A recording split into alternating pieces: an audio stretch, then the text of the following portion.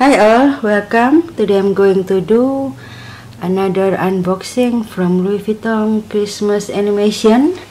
I know I just got one, but I need another one and after think Thinking. it through, I I really need this one. So today my little boy is helping me.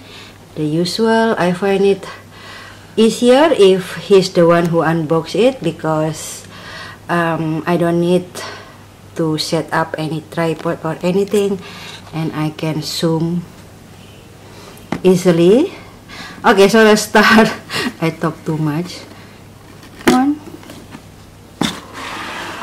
Can you guess what it is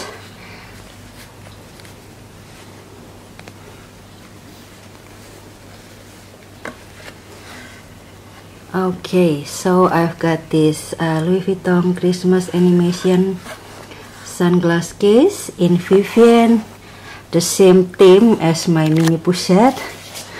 Here, do you think it's redundant? Yeah. okay, whatever. But I love this. Oops, I love this uh, the most. This picture the most. So I've got one. Let's open it. It's the same interior lining. This is the microfiber. And this part here in leather in hot pink color almost purple in my opinion.